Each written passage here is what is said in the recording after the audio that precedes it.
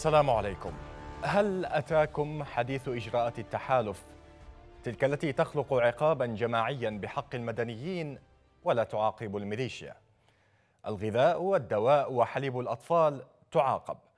تعاقب حقائب المسافرين التي تنتظر التخليص في مطارات العالم. السلع التي ترتفع والعملة التي تنخفض قيمتها بتسارع مهول. كل هذا يحصل في بلد تقول التقارير الإنسانية الصادرة عن المؤسسات الدولية المعتبرة أن أغلبيته السكانية باتت على مشارف المجاعة. لكن وعلى صعيد متصل بالإغلاق المؤقت للمنافذ اليمنية تناقلت مواقع إخبارية أن بحرية التحالف العربي الذي تقوده السعودية أعادت اليوم الأربعاء فتح ميناء عدن أمام السفن التجارية والإغاثية بعد يومين من إغلاقه. وبحسب مصادر ميدانية تحدثت للمساء اليمني فإن المدن الخاضعة لسيطرة الانقلاب تشهد ندرة المواصلات الداخلية والناس يمشون على أقدامهم في الشوارع. في سعي له علاقة بالعيش أكثر من علاقته بالحج الأعظم ورمي الجمرات على الشيطان الذي يكمن دوما في تفاصيل المأساة الإنسانية. تزامن ذلك مع ارتفاع وصف بغير المبرر للأسعار يجاري على ما يبدو الطمع الموجود لدى كثير من التجار لاستغلال كل معاناة للمواطنين. أولئك الذين يشاهدون عملتهم وقد تضاءلت قيمتها وتهاوت مع تهاوي حالة البلاد واستمرار انقلاب ميليشيات الحوثي والمخلوع على السلطة الشرعية وتجريفها لمؤسسات الدولة. المساء اليمني يناقش التداعيات الإنسانية جراء قرار التحالف العربي بالإغلاق المؤقت للمنافذ اليمنية. نبدأ النقاش مشاهدينا بعد متابعة هذا التقرير. استيقظ اليمنيون على مأساة جديدة تضاعف ما يحيط بهذا الشعب من مآس وما أكثرها على اليمنيين. فمنذ إعلان التحالف إغلاق المنافذ البرية والجوية والبحرية لليمن وتداعياتها السيئة مستمرة. إغلاق المنافذ بحسب بيان التحالف جاء لسد كل الثغرات التي تهرب منها الصواريخ غير أنه ومن الواضح أنه لم يأتي إلا لسد آخر منفذ للحياة أمام اليمنيين وبالذات فيما يتعلق بلقمة العيش آخر ما تبقى لليمنيين من خيوط الحياة.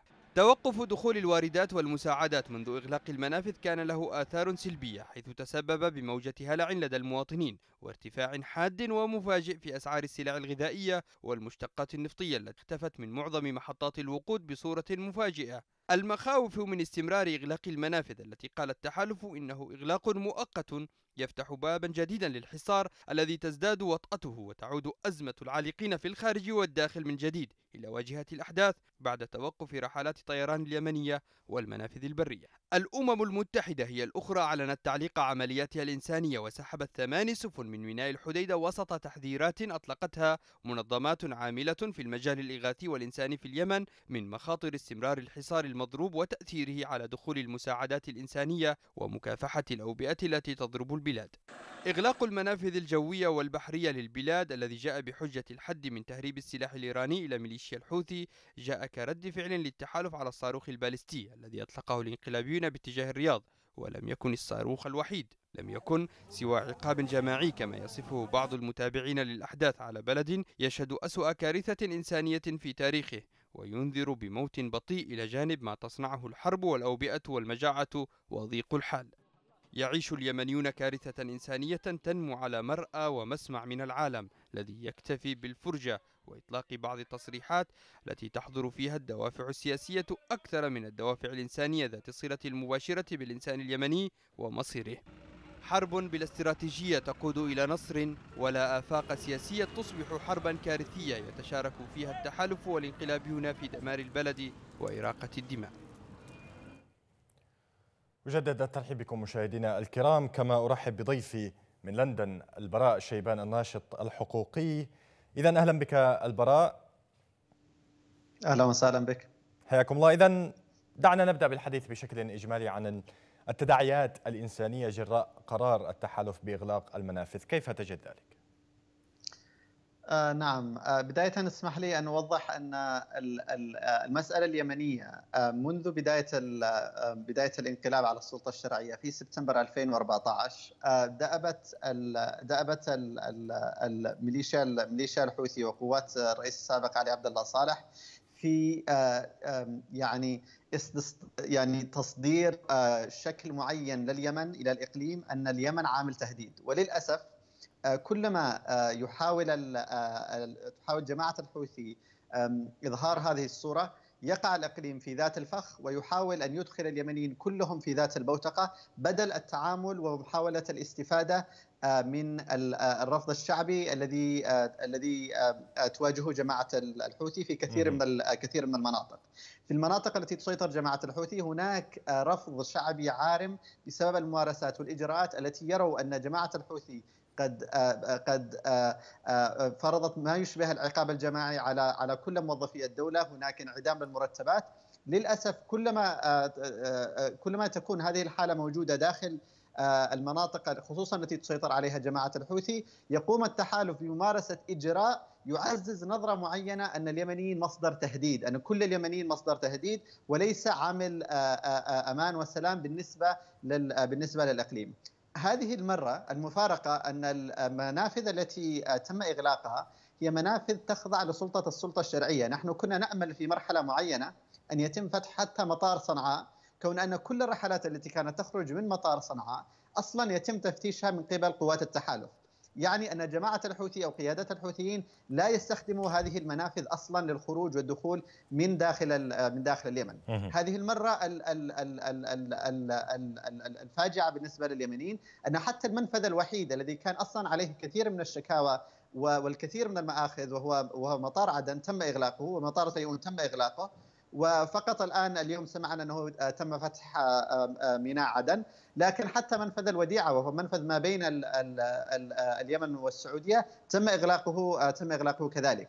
هذه الإجراءات تعزز نظرة واحدة هي كلها تصب في مصلحة جماعة الحوثي وسأفصل خلال هذه الحلقة من الناحيه الاقتصادية ومن الناحيه الإنسانية كيف استفادت جماعة الحوثي من كيف كل الإجراءات. كيف اذا استفادت بهذا الشكل؟ ابتداء عندما يتم آه، إغلاق آه، إغلاق المنافذ ومنع حتى الواردات التجارية من الدخول آه، التجار في السوق السوداء يقوموا بمضاعفة المبالغ. في أنت لو تلاحظ في أول يوم تم إغلاق المنافذ ارتفعت الأسعار داخل محافظة صنعاء 100% من يستفيد من هذه من من, من هذا الفارق؟ يستفيد منه نفس الأشخاص الذي كانوا الذي خلقوا السوق السوداء داخل اليمن، هذه تدر أرباح خيالية في وقت قياسي جدا لأن اليمنيين أي مضطرين لأن يشتروا من هؤلاء لأن هؤلاء هم الوحيدين الذين يستطيعوا أن يوفروا هذه أن يوفروا هذه المواد. هؤلاء الأشخاص أيضا يعتمدوا على على مصادر أخرى هم لا يعتمدوا على المنافذ الرسمية لدخول لدخول المواد هم يعتمدوا على مثلا التهريب التهريب عبر البحر والتهريب عبر البر أي أنهم غير غير متضررين بشكل مباشر من من من إغلاق المنافذ ولكنهم يعني كاسبين آه، أرباح خيالية في وقت آه، في وقت يعني قصير آه، في وقت قصير قصير جدا. كلما كلما كلما تقوم التحالف ويرافق طبعا صمت حكومي مريب. ونحن لا نعلم لماذا تصمت الحكومة اليمنية إلى هذه اللحظة عن هذا عن هذا عن هذا الإجراء. المستفيد الوحيد مرة أخرى جماعة الحوثي. جماعة الحوثي تريد أن تصدر مشهد واحد أن ليس لدى اليمنيين إلا خيارين. إما البقاء تحت سلطتها وإما أنه سيكون هناك عقاب جماعي على كل اليمنيين. بدل أن يكون هناك نظرة مختلفة تقدمها دول التحالف ويقدمها الحكومة اليمنية أنه لأنه ان هناك نظرة مختلفة أنه في المناطق التي تخضع لسلطة الحكومة الشرعية هناك متنفس هناك نموذج آخر. يتم يتم ممارسة مثل هذه الإجراءات التي أنا أراها غريبة جدا وغير مبررة بالمرة. طيب هذا هذا الأمر إلى أي مدى يؤثر في ردة فعل شعبية ضد التصرفات التي يقوم بها التحالف والتي يبدو أنها آه، يعني تتزايد شيئا فشيئا مع نفاذ الخيارات لدى الشارع اليمني. بالنسبة يعني أنا أنا نحاول أن نوصف الأمور بشكل بسيط جدا، أنت عندما تكون مواطن بسيط تسكن في أي منطقة في اليمن، سواء كنت في صنعاء أو في تعز أو في عدن، وفجأة في آه، صحية النهار كل الذي ستعرفه هو شيء واحد أن التحالف أغلق المنفذ الوحيد وأن كان لديك مثلا قريب أو أخ أو أب أو أم مثلا كانت آه، ستسافر العلاج في في الخارج. بالنسبة لك من المسؤول عن آه، هذه الكارثة الإنسانية؟ بالتأكيد سوف تلوم التحالف. بعد ذلك يأتي بعض التبريرات عندما مثلا تعلن قوات التحالف العربي أن هذا إجراء مؤقت أو أن هناك بعض الإجراءات الأمنية لمنع آه، آه، آه، مثلا دخول بعض السلاح إلى جماعة جماعة الحوثي. بالنسبة لليمني أنا أتحدث الآن بالنسبة لليمني البسيط هذه التفاصيل لا تهمه. بالنسبة لليمني البسيط هناك شيء واحد. هو كان لديه مثلا مريض كان سيسافر لأجل شيء معين لأجل دراسة وتم منعه في خلال هذه الفترة القياسية. في كل مطارات العالم هناك الآلاف. يعني نحن نتخيل أنه بالرغم الأسعار اللي كانت خيالية بالنسبة للتذاكر التي التي كانت تباع للمواطن اليمني كان هناك الآلاف ممن يسافروا و... لأن هذا هو المنفذ الوحيد ليس لديهم خيارات خيارات أخرى. كثيرة. وكنا نريد من التحالف أن يسبح بمزيد من الشركات حتى يكون هناك نوع من التنافس على أسعار تذاكر تذاكر الطيران. وأن تكون هناك منافذ أخرى لليمن، يجب ان ان يشعر اليمني أن هناك متنفسات أخرى وأن الخيار ليس إما جماعة الحوثي أو العقاب الجماعي الذي تفرضه هذه الإجراءات. طيب دعنا نشرك معنا البراء آه، آه، جمال بالفقيه منسق اللجنة العليا للإغاثة الذي ينضم إلينا عبر الهاتف من عدن، أهلا بك أستاذ جمال. أهلا وسهلا تفضل. أستاذ جمال أنتم في آه، لجنة اللجنة العليا للإغاثة كيف تتابعون تداعيات الإنسانية قرار إغلاق المنافذ. بسم الله الرحمن الرحيم. آه، طبعا البيان الصادر الأخير بإغلاق المنافذ البحرية والبرية آه، في الجمهورية اليمنية بشكل عام. هي طبعا هذا الإجراء هو إجراء مؤقت. وطبعا نحن في اللجنة العليا للإغاثة بمجال الإغاثي هو قد أشار البيان بأن العمل الإغاثي سيستمر في عملية تدفقه على حسب الآليات اللي هي كانت متبعة إليها. آه وإنما أحب أن أبلغكم بأن اليوم تنفتح ميناء عدن لاستقبال البواخر التجارية وفتح منفذ عدن بشكل عام. وأنا أعتقد أن عملية الإجراء هذا أجراء مؤقت لتداعيات الإطلاق الصاروخ إلى الرياض من من قبل الحوثيين والذي هو تم تم عن طريق إيران. بشكل خاص وهذا تهديد مباشر في المنطقة. واليمن هي تحت البند السابع فالأمور هذه أعتقد إنها إذا طالت عملية الحصار كانت ممكن تضر المواطن، لكن ما دام تم العمل اجراء هو إجراء لزيادة التفتيش بالنسبة لبعض البواخر الموجودة في المواني، كذلك لبعض التأكيد ببعض بعض بعض الأماكن اللي هي ممكن تهدد الأمن سواء كان في اليمن أو في في المنطقة فأعتقد إن هذا الإجراء بشكل كامل بشكل عام والدليل على هذا إن بدأت فتحت الموانئ عدن بهذا اليوم. طيب يعني أنتم لا تواجهون مشاكل في ناحية تدفق المواد الإغاثية بالنسبة للمتضررين في المحافظات اليمنية. طبعا إحنا بالنسبة لنا بالنسبة للغاثة بشكل عام نحن أي بغاثه تأتي عن عبر ميناء عدن أو عبر المنافذ البرية آه، نستلمها بشكل كامل. الإشكالية اللي عندنا هي ان كثير من المنظمات الدولية الاغاثه ما توصل عن طريق المنافذ اللي هي تحت سيطرة الشرعية، وهذا الشيء ممكن يعني يأثر كثير بالنسبة لعدم إيصالها للناس المستحقين يعني فمين الحديدة هو يعني قد يكون هو مهدد رئيسي بالنسبة لوصول يعني بزعم إن الوصول إلى الغاثات الموجودة وإنما هي تكون توصل إليها أشياء أخرى وهذا ياثر على على السلم المنطقة بشكل عام. يعني أنتم تصلون إلى تلك المناطق لكن بسبب أن آه، إصرار المنظمات الإغاثية العالمية على إيصالها عبر ميناء الحديدة هو ما يعرقل وصول المساعدات لهذه المناطق؟ أيوه طبعا بلا شك فنحن دائما ننادي إليهم نحن نستطيع أن نوصل لهذه المناطق عبر شركائنا الموجودين وقد وصلنا إليهم نحن في الف... في ال... في, ال... في الأسابيع الماضية وصلنا إغاثات كثيرة في منطقة حديدة والمحويت وبعض المناطق اللي هي تحت سيطرتهم عن طريق بعض المنظمات اللي هي آه، شريكة مع اللجنه العليا للاغاثه آه، وإنما قبعة الأمم المتحده هي نتمنى أن توصل للمناطق الموجودة. فهي طبعا عندما نتكلم نحن عن الحديده بشكل خاص والمينا اللي هو تدفق إليه الاغاثات يعني يعني لما نتكلم نحن في الشهر الماضي تقريبا 9 مليار و300 مليون وصلت يعني مواد غذائية ووصلت بعض المواد لمدينه الحديدة. آه، إلى جانب المغاثه الاغاثه اللي توصل إليهم لا تصل إلى المنطقة هي نفسها هي منطقة الحديدة اللي تبعد على 100 100 كيلو متر الذي يعاني منها بالفقر والجوع وكذلك المجاعة. يعني هذه هذه الأشياء الموجودة هي اللي تقلق نحن في اللجنة والإغاثة وتقلق الحكومة الشرعية إن الإغاثة هي لا توصل لمستحقيها بشكل كامل. ولهذا نحن نطالب باستمرار إن فتح فتح مراكزها في داخل عدن التي هي تأهلها بتنظيم العمل الإغاثي وكذلك فتح القنوات الحقيقية عن طريق الحكومة لإيصال الإغاثات هذه لمستحقيها طيب الآن الأمم المتحدة كما يبدو من مصادر الصحفية تتحدث على أن التحالف ألغى رحلتين لمواد إنسانية أو مواد إغاثية بالنسبة لها إلى أي مدى يمكن أن يؤثر ذلك في أعمال الإغاثة في اليمن؟ والله شوف اللي هي دائما نحن بالنسبة لنا نحن منتظرين بعض السفن بتأتي خلال الأسبوع القادم. ما فيش أي شعار انها ممكن تغلق. إلى جانب اليوم نحن استلمنا فتحت ميناء عدن فتح للبواخر التجارية. فكيف نحن نحن ما كل ما يقال وكل ما ما, ما, ما تعمله البيانات تتصدق. يعني نحن عندما بنتكلم عن الأمم المتحدة في كثير من البيانات حقها لا, لا تكون لا ليس ليس نقول هي غير صحيحة لكن تقول مبالغ فيها. يعني هل يجب علينا أيضا لا نصدق بيانات التحالف الذي يقول أنه سيغلق المنافذ لكنه لا يغلقها أيضا؟ لا لا هو هو هو سيغلقها بشكل احترازي وهو البيان م. واضح كان البيان واضح إنه سيغلق بشكل احترازي لتكثيف التفتيش ومعرفة ما بيتم موجود وفتح الميناء عدن دليل واضح ان فتح ميناء عدن إن التحالف فعلا بيفت... يعني فتحها فقط لعملية التفتيش وعملية التأكد لعملية أن لا توصل آه، أسلحة إلى المناطق اللي هي تسيطر فيها الحوثي وتستخدم ما آه، بالابدات للأسلحة الإيرانية.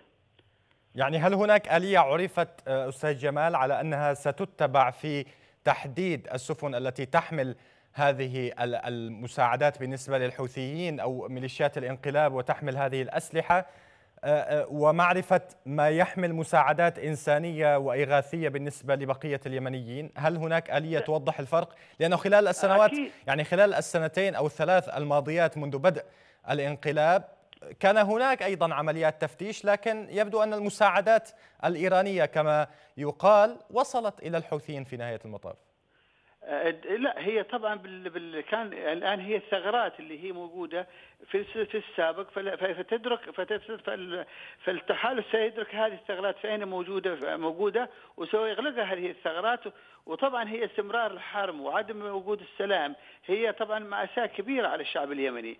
استمرار الحرب معناته استمرار الحرب وتعنتهم عدم عدم خضوعهم للسلام وتنفيذ قرارات مجلس الأمن و آه، هذا يأثر كثير في العمل الإنساني وعمل آه، يعني كل اللي يصل إلينا سواء كان تدهور العملة سواء كان شحة الموارد سواء كان وبكل تأكيد يؤثر لأنه يعني يغذي الحرب. يعني لولا وجود الحوثيين وإصرارهم على حمل السلاح بمواجهة اليمنيين ما كانت حرب بكل تأكيد. أكيد أكيد بلا نعم. شك يعني هذا الأساس أساس العمل الاغاثي هو أن العمل الإنساني نحن في في اللجنة الاغاثي نحاول أن نخفف من المواطنين برغم من الحرب وطول الحرب هذه وكثر الاحتجاج بالنسبة لجميع المناطق وخاصة المناطق اللي بيتكلم عنها المناطق اللي هي تحت سيطرتهم منطقة ريما والمحويت والحديدة وحجة هذه المناطق تحتاج أكثر. ولهذا نطلب من النظمات الدولية أن تكثف عملها في هذه المناطق من أجل توصل إليهم هذه الإغاثات موجودة على الأقل لتخفف من الآلام الإنسانية من آلام المواطن وتخفف ولو بعض الشيء القليل من عملية التشرد والعملية عملية العملية حتى تهجير المواطن بشكل عام في مناطق كبيرة. آه، يعني التحديات كبيرة جدا والحكومة طبعا هي تحاول قدر المستطاع إنها تعمل نعم ما تقدر أعماله لكن المساعدات الإنسانية والمليارات الدولارات التي تدفق للمنظمه الدولية يجب أن تروح في الاماكن اللي هي تستحقها. أشكرك أستاذ جمال بالفقيه منسق اللجنة العليا لإغاثة. كنت معنا عبر الهاتف من عدن وأعود إلى الأستاذ البراء شيبان. أستاذ البراء لعلك استمعت إلى أجزاء مما آه، آه، قاله الأستاذ جمال بالفقيه إذا الإشكالية الإنسانية كما يبدو أنها من خلال حديث الأستاذ جمال تنحصر في مناطق سيطرة الإنقلابيين المناطق التي يعني يتواجد الإعلام التابع للإنقلابيين فيها هل تتفق مع ذلك؟ طبعا اولا آه، للتوضيح المناطق التي يسيطر عليها الحوثيين أو المناطق اللي هي من يعني شمال الشمال آه، هي الأكثر كثافة في السكان فلذلك من الطبيعي أن تكون هناك الحاجة الإنسانية الحاجة الإنسانية أكبر بطبيعة بطبيعة الحال. هل هناك تعنت من قبل جماعة الحوثيين؟ نعم وأنا أريد أن أشير إلى كثير من التقارير وليس آخرها كان تقرير نفسه هو يعني وكيل الأمين العام للأمم المتحدة للشؤون الإغاثة الإنسانية الذي أشار بشكل واضح ان جماعة الحوثي تعرقل وصول المساعدات، لكن هذا لا يعني أن المساعدات لا تدخل إلى إلى المناطق أو إن المستحقين لا يحصلوا عليها في كل المناطق في في المناطق الشمالية. السؤال الثاني الذي أريد أن أطرحه بشكل بسيط، إذا كانت هناك إجراء احترازي مثل ما ذكر الأستاذ جمال هل هناك كمان إجراء احترازي على المسافرين الذين يسافرون بالجو؟ يعني هل السلاح سيدخل عن طريق عن طريق الجو؟ هل الطيران الذي يسافر من عمان أو من القاهرة سوف يعني يمر عبره سلاح سلاح إيراني؟ هذا هذا هذا تساؤل بسيط يعني نحن نحن نطرح تساؤلات بسيطة جدية يسألها المواطن المواطن اليمني. قالوا إن هناك إجراء احترازي ولذلك هم يكثفوا التفتيش على السفن. ولكن ماذا عن الطيران؟ لماذا تغلق المنافذ الجوية أمام المواطن أمام المواطن اليمني؟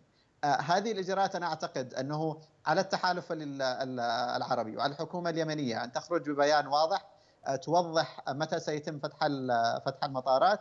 هناك الكثير من اليمنيين العالقين الذين يريدون العودة وهناك الكثير من اليمنيين الذين ينتظرون السفر إما لحاجة علاجية أو دراسية أو مهما كان السبب.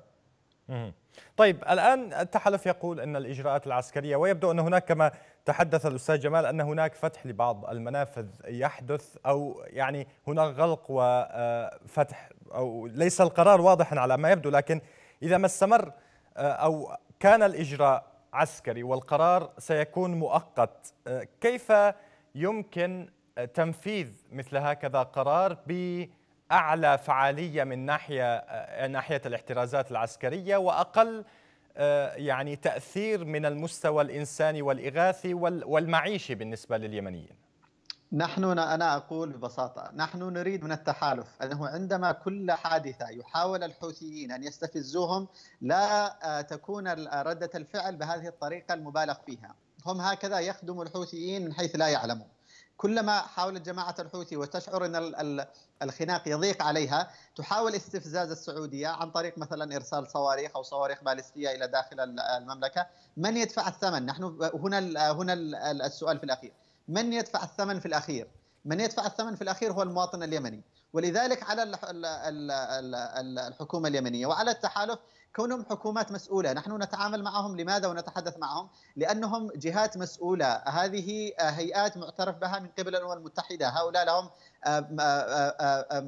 مقاعد فاعلة داخل الأمم المتحدة، هؤلاء يجب أن يتحملوا مسؤوليتهم تجاه المواطن اليمني، ولذلك نحن نقول أنه كلما تقوم الميليشيات باستفزازهم أن لا تكون ردة الفعل بالطريقة المبالغ فيها هذه، أن تكون فجأة يعني في في في في الليل يعني ينام الناس وفجأة يصحوا النهار ويجدون كل المنافذ منافذ مغلقة، إجراء غير طبيعي، إجراء غير منطقي ولا يعلم المواطن اليمني، الآن أنا قلت لك يعني في ليلة واحدة تم ارتفاع الأسعار في المناطق التي تسيطر فيها جماعة الحوثي 100% فجأة واحدة، من يستفيد؟ هذه الأموال اين اين اين تذهب؟ هذه تذهب إلى نفس الجهات التي يخشى التحالف العربي منها أو الذي حاولوا استفزاز السعودية في المقام الأول.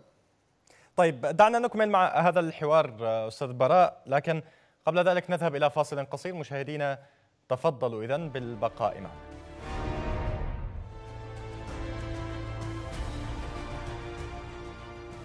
أهلا بكم من جديد مشاهدينا الكرام إلى هذه الحلقة من المساء اليمني. كما اجدد الترحيب بضيفي البراء شيبان الناشط الحقوقي اذا أستاذ البراء الآن الحكومة الشرعية لها يعني موقف أو ليس لها موقف باعتبار أن موقفها الصمت الآن تجاه ذلك. كيف تقيم ذلك؟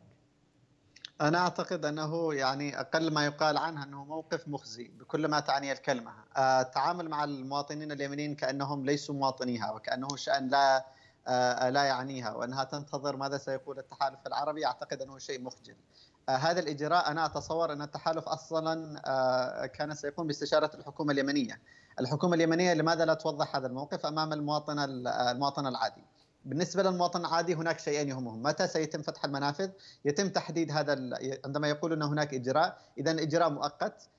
كم سيستمر هذا كم سيستمر هذا الإجراء؟ لا يصح أن نقول إن هذا إجراء وإجراء وإجراء مفتوح إلى الأبد. النقطة الثانية اللي أريد أن أشير إليها وهي نقطة مهمة هذا الإجراء مخالفة صريحة للقانون الدولي حتى إجراءات الحرب حتى القانون الإنساني الدولي هذا الإجراء مخالفة صريحة وانتهاك واضح للقانون الدولي والقانون الإنساني الدولي. التعامل في الحروب لا يصح ابدا أن يكونوا اليمني المدنيين دائما في كل الحروب يدفعوا ثمن يدفعوا ثمن المقاتلين. هذا الإجراء عندما يقول أنهم إغلاق كل المنافذ بهذه الطريقة بالتأكيد ماذا يعني يعني أنه سيضر سيضر المواطنين المواطنين المدنيين البسطاء العاديين الذين ليس لهم أي دخل لا بجماعة الحوثي ولا بغيرها من الجماعات. فأعتقد أن الحكومة اليمنية أصلا عندما يعني تستمر في في الصمت هذا أعتقد يعني أقل ما يقال عنه إنه موقف موقف مخزي. وللأسف نحن نشيرها في أكثر من من حلقة وفي أكثر من مداخلة سابقة. شرعية الحكومة اليمنية تتآكل بسبب تصرفاتها. الغياب الذي هي تقوم بممارسته. غيابا نعتبره إما متعمد أو أو أو أو أو, أو تغيب نفسها تحاول أن تتجاهل القضية الإنسانية. هذا يأكل من شرعيتها شيئا فشيئا. اليمنيين في الأخير لم لا يريدوا سعاده الدولة من أجل أفراد أو من أجل أشخاص بعينهم هم يريدوا لأنهم يريدوا أن يشعروا إلى دولة يشعروا بها بالأمان بالاستقرار أن يشعروا أن حياتهم خدمات الخدمات الأساسية متوفرة متوفرة لديهم. ومن الطبيعي أنهم لا يشعروا بذلك الأمان أمام الميليشيات. ولكن عندما تصمت الحكومة اليمنية على مثل هذا إجراء وهو يؤثر على الوضع الإنساني بشكل بشكل مريب نعم. أعتقد أنه يعني السؤال يطرح على الحكومة الشرعية هل هي لا زالت ترى أنها شرعية وتقف في مسافة متساوية أمام كل المواطنين من من حيث ما جاءوا أم أن موقفها فقط هي تستمد شرعيتها الوحيدة كون أنه ليس هناك طرف شرعي آخر. طيب دعنا نستقصي الأوضاع في المدن اليمنية أستاذ البراء ينضم إلينا الآن من صنعاء جلال البريهي مسؤول مبادرة بصمة أمل. اذا أهلا بك أستاذ جلال انقل لنا الحياة اليومية في صنعاء خاصة بعد قرار إغلاق المنافذ من قبل التحالف العربي. أهلا بكم. السلام عليكم ورحمة الله وبركاته. في البداية أشكر قناة بلقيس لإتاحة فرصة استضافتنا في برنامجكم الرائع واهتمامكم في القضايا الإنسانية والمجتمعية. نحن مبادرة شبابية تعمل في مجال الإغاثة والتنمية ولا تنتمي لأي أحزاب سياسية. نعم. آه وضع الشباب الآن في بعد إغلاق وضع المجتمع والشعب بعد إغلاق المنافذ آه زاد الوضع سوءا للشعب. مع شبه انعدام الحياة في صنعاء. بسبب انعدام المشتقات النفطية وارتفاع أسعارها ضعف ما كانت عليه. الآن طيب. ارتفعت أسعار المشتقات النفطية ضعف ما كانت عليه. أعطنا مزيدا من التفاصيل يعني كيف يعني باتت حياة المواطنين الآن. نحن نتحدث عن قرار إغلاق المنافذ وهناك أيضا أسعار الصرف بالنسبة للعملة اليمنية. هناك الأسعار في المتاجر. كيف كيف هي الحياة؟ الآن القرار هذا أدى أدى الوضع سلبيا على الشعب. إذا ارتفعت الأسعار في المشتقات ارتفاع أسعار المواصلات أسعار السلع الغذائية ارتفعت بسبب سعر زيادة الصرف. صرف الدولار ارتفع ارتفع السعر وحالة وحالة الشعب أصبحت سيئة للغاية ودائما في تدهور. طيب يعني الآن عندما نتحدث عن نواحي معيشية هل هناك أشياء تضررت بشكل غير مباشر من قرار التحالف بإغلاق هذه المنافذ؟ تضرر تضرر الشعب نفسه في البداية. كيف ذلك؟ يعني كيف صف لنا المظاهر هذه يعني مظاهر التضرر كيف كان ذلك؟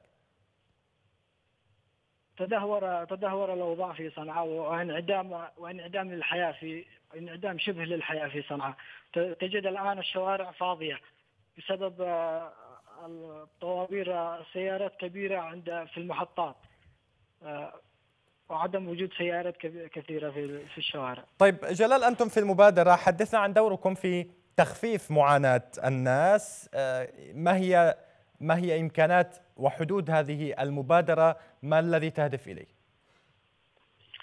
نحن في المبادرة دور هو دور الشباب بشكل عام في جميع المبادرات الشبابية دور كبير في ظل هذه الأوضاع في العديد من المجالات في مجالات التوعية ضد الأمراض كالكوليرا والغاسية بتوزيع سلال غذائيه وتخفيف من معاناة هذا الشعب في ظل هذا الوضع الذي تمر بها بلادنا.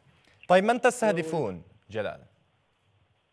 مستهدف الناس الذين لا يجدون مثلا الان لا يجدون طرق المعيشة كيف المعيشة بسبب الاوضاع وعدم صرف الرواتب لمدة لمدة سنة ونص إلى الآن لم لم يستلموا رواتب ولا يجدون قوت يومهم للأكل أو الشرب أو كذا.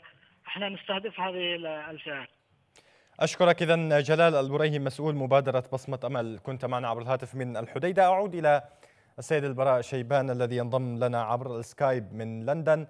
إذا أو عفوا كان معنا آه، جلال البريهي من صنعاء. إذا أعود إليك البراء. آه، سمعت ما تحدث به جلال سمعت الأوضاع في صنعاء وأيضا هذه المبادرات التي يبدو أنها تحدث بشكل متزايد مع هذه الحرب التي يعني تحدث في البلاد. كيف يمكن أن تساعد؟ برأيك هل بالفعل هكذا مبادرات ستف يعني ستكون فاعلة في مساعدة الناس في الخروج من الوضع الصعب الذين هم فيه؟ أنا لا يعني أعتقد أن هذه المبادرات هي تحاول أن تكون يعني هي تحاول أن من ناحية المسؤولية الاجتماعية الذي يشعر بها بعض المواطنين تجاه يعني المواطنين الآخرين الذين يتشاركوا معهم في في الأرض يتشاركوا معهم في نفس المدينة أو يتشاركوا معهم الحي أنهم يحاولوا من التخفيف قدر الإمكان. لكن هذه المبادرات مهما كان يعني تظل مبادرات مبادرات صغيرة إذا كانت الأمم المتحدة بهيئاتها الكبيرة لا تستطيع أن أن تحل الأزمة الإنسانية داخل داخل اليمن فما بالك بالمبادرات هذه المبادرات هذه البسيطة. المشكلة الأساسية في اليمن آه، يا عزيزي ونحن نذكرها دائما المشكلة الأساسية منذ منذ سبتمبر 2014 غياب الدولة. غياب الدولة آه، الكثير من الناس آه، يعني أعتقد حاولوا أن يستقلوا بمعنى أن تكون الدولة غائبة. معناته أن تكون الدولة غائبة أن تكون كل هذه المظاهر آه، مظاهر آه، مظاهر طبيعية في الأخير آه، عندما يكون هناك مسؤول المواطنين بطبيعتهم يستطيعوا التوجه إلى مسؤول معين يحملوها المسؤولية وتكون الحكومة دائما هي هي هي هي المسؤولة غياب هذا المظهر غياب الدولة أثر على كل المناحي المناحي الحياتية. وأعتقد آخرها هي اولا يعني كان كانت فترة طويلة انقطاع المرتبات بالنسبة للموظفي موظفي الدولة. والآن نحن نتحدث حتى ارتفاع الأسعار والمشتقات النفطية. الآن ارتفاع العملة اليمنية أو سعر الدولار مقابل مقابل العملة اليمنية. وأريد أن أذكر أيضا نقطة نقطة مهمة أن حوالي أكثر من 80% من آه، الاحتياجات الأساسية بالنسبة للغذاء في اليمن يتم استيراده من الخارج. وهذا يضع يعني ثقل إضافي على على المواطن اليمني. في الأخير كل ما كل هذه تعتبر مثل الفواتير ضرائب إضافية يدفعها في الأخير المواطن. المستفيد الأخير هو من من آه، من يدفع. يتحمل عبء فوق عبء فوق عبء. وفي الأخير الكثير من المواطنين لا يستطيعوا تحمل هذه هذه الأعباء الثقيلة. وتكون آه، المظاهر التي رأيناها الذي الذي آه، يصفها الكثير من المراقبين أنها أقرب للمجاعة. عندما نتحدث عن المجاعة يعني من المهم الآن ربما التذكير بالوضع الإنساني في اليمن. ما هي يعني بحسب اطلاعك آخر الأرقام الخاصة بموضوع الأمن الغذائي في البلاد موضوع آه، الأمراض المنتشرة أيضا هناك أيضا ربما أخبار عن انتشار أمراض آه، نسيها اليمنيين من منذ زمن لم لم تأتي إليه أو لم يصابوا نعم. بها نعم بالنسبة أولا للوضع آه، الصحي الذي تدهور بشكل بشكل بشكل كبير جدا. أصبح القطاع الصحي لا يستطيع الاستجابة لارتفاع آه، حالات المصابة مثلا وباء معروف مثل وباء الكوليرا على سبيل المثال. كان اليمن قد قد نسي تقريبا هذا هذا الوباء والعالم تقريبا قد قد تجاوز هذا الوباء منذ فترة آه، منذ فترة طويلة. طبعا الوباء هذا لا, يتحمل فقط جزء يعني ليس طرف واحد هي حلقة متكاملة منذ آه، مثلا عندما تغيب المرتبات على عمال النظافة هذا يؤثر على الوضع الصحي أو الوضع البيئي داخل آه، المدينة. ثم يؤثر ذلك على على المواطنين. ثم يؤثر ذلك على على على المجاري على يعني مثلا مياه الشرب ومياه الصرف الصحي. بالتالي بالتالي يصاب الناس بالوباء. يذهبوا إلى المستشفيات والمستشفيات أصلا منهكة لا تستطيع التعامل مع مثل هذا الارتفاع بهذه بهذه النسبة. ونرى ما نرى ما, ما نراه الآن. في الأخير أنا نحن أنا أقول ببساطة أنه كلما استمرت آه، هذا كلما استمر هناك عاملين. كلما استمر آه، عوامل غياب الدولة كلما سنرى آه، انتشار مثل هذه مثل هذه الظواهر. سواء من انعدام الأمن الغذائي عدد الأطفال الذين يكونوا في حالة في يعني يسموها مال نيوتريشن يعني غياب يعني لا حالة فقر نعم. فقر غذائي آه، ثم يؤثر ذلك على الوضع آه، الوضع آه، الوضع الإنساني، الحلقة الاقتصادية دائما هي حلقة مكتملة نعم. محور مهم جدا فيه هو وجود الدولة. الآن الإشكالية التي نحن نواجهها في هذه الظروف أن الدولة تحاول أنا لا أعلم هل هي تغيب نفسها اراديا أم لا اراديا تحاول أن تتجاهل أن هناك أزمة إنسانية داخل داخل اليمن.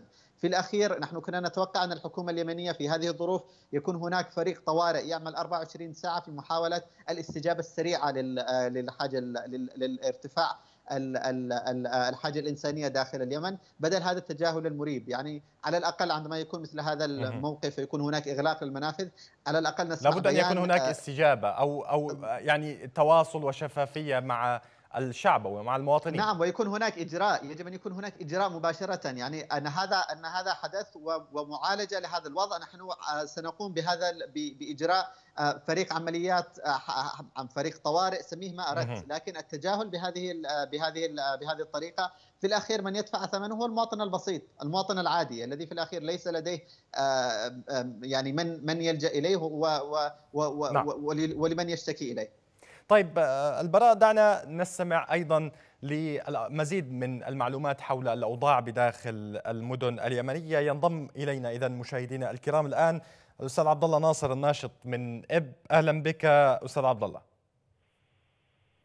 أهلا وسهلا بك أخي الكريم. حياكم الله. إذا عبد الله ينقل لنا آه، إب محافظة فيها كتلة سكانية كبيرة. كيف هي حياة الناس في الأيام الأخيرة؟ طبعا محافظة إب هي محافظة كبيرة مزدحمة بالسكان تعداد سكانها يقترب من 3 مليون مواطن. آه الوضع الإنساني في إب لا يختلف كثيرا عن بقية المحافظات التي آه تعاني من وضع إنساني صعب. لكن يبدو أن إب في هذه الفترة كانت قادرة على أن تصمد وتستمر أكثر في مواجهه الظروف الإنسانية والاقتصادية إلا أن الفترة الأخيرة آه، زادت بشكل كبير من من معاناة المواطن جراء آه، انعدام المرتبات آه، جراء فقدان الكثير من المواطنين لأعمالهم. طبعا إب في الفترة القليلة الماضية تعرض كثير من أصحاب الأكشاف والباعة إلى حمله إزالة أفقدتهم فرص عمل ومصادر أرزاقهم.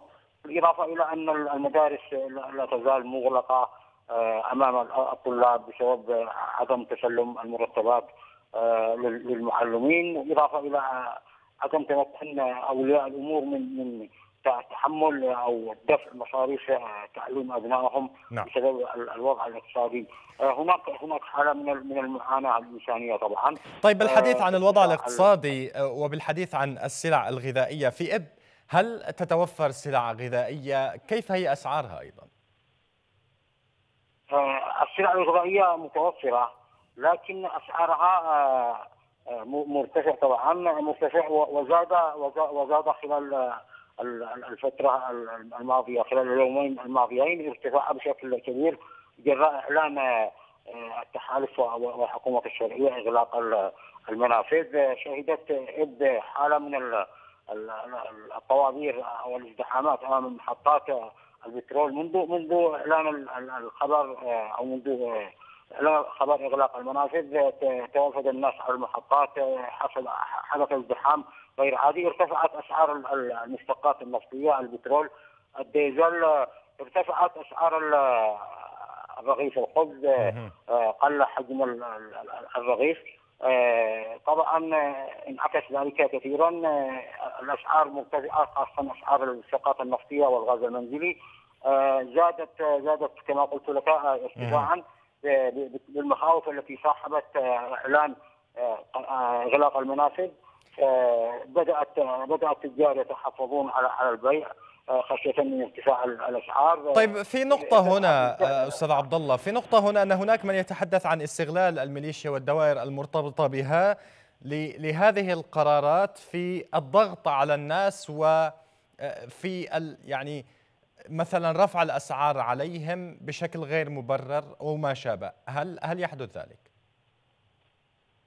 طبعا رفع الأسعار لا يستطيع بالنسبة للمواد الغذائية لا يستطيع الميليشيا أو الانقلابيين أن يتحكموا في في اسعارها لكن هنالك مواد محددة يمكنهم التحكم باسعارها ورفع اسعارها عن طريق التحكم بمصدرها وتوزيعها مثل الغاز المنزلي الذي يتحكمون به وباسعاره أيضا البترول الديزل لكن آه، بقية بقية المواد الغذائية تأتي تأتي آه، عمليه رفعهم لهذه المواد بصورة غير مباشرة عن طريق تحميل آه، أو أو تحصيل مبالغ من التجار تحصيل رسوم زيادة الرسوم. الآن ولا مشكلة لديهم في أن يرفع التجار الأسعار؟ يعني هناك سماح يعني للتجار برفع الأسعار أو ليس هناك رقابة على الأسعار؟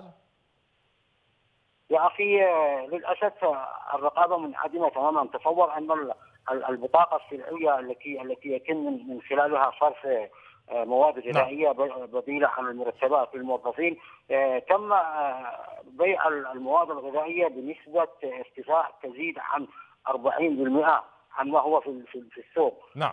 أشكرك. هنالك طبعا المخابز تبيع آه، بأسعار مرتفعة لا تلتزم بأوزان نعم تستغل لا رقابة طبعا لا, لا يوجد رقابة. كل ما يهمهم هو آه، عمليه التحصيل للمبالغ. هنا نعم عبد عملية فرض رسوم. أشكرك اذا اليومين الماضيين. أشكرك اذا عبد الله ناصر الناشط المجتمعي. كنت معنا عبر الهاتف من إب. بالعودة إليك أستاذ البراء وبسؤال أخير وبعجالة أيضا أرجو منك الإجابة. هل الآن يمن دخلت منعطف سيلحق الأذى بما تبقى من أسس للعيش فيها؟ أعتقد للأسف أنا أعتقد اننا دخلنا هذا المنعطف منذ وقت منذ وقت مبكر على الأقل. يعني إذا كنت لا أبالغ قد تكون في وقت مبكر من هذا من هذا العام. ولكن آه، ليس هناك منعطف لا يستطيع لا تستطيع أي دولة الخروج منه، دائما هناك آه، آه، إمكانية إذا ما توفرت الإرادة السياسية. وإذا ما قامت المؤسسات الدولة بممارسة مهامها على الأرض. في الأخير المواطن اليمني يتوق لعودة الدولة، نعم. يتوق لأن يرى الدولة تمارس تمارس مهامها، وأعتقد أنه قد جرب خلال هذه الفترة الماضية ماذا يعني غياب غياب الدولة. يبقى على المسؤولية على الحكومة اليمنية التي ترى نفسها أنها حكومة شرعية أن تكون على قدر المسؤولية وأن يكونوا رجال دولة في هذه الفترة الاستثنائية التي يعني يعيشها المواطن اليمني. أشكرك البراء شيبان الناشط الحقوقي كنت معنا عبر سكايب من لندن. في هذه الحلقة كما هو الشكر موصول لكم مشاهدينا الكرام على حسن المتابعة والإنصات في ختامها. تقبلوا تحياتي وتحيات الزملاء أسامة عادل منصور النقاش محمد المقبلي وجميع أفراد الطاقم الفني إلى اللقاء.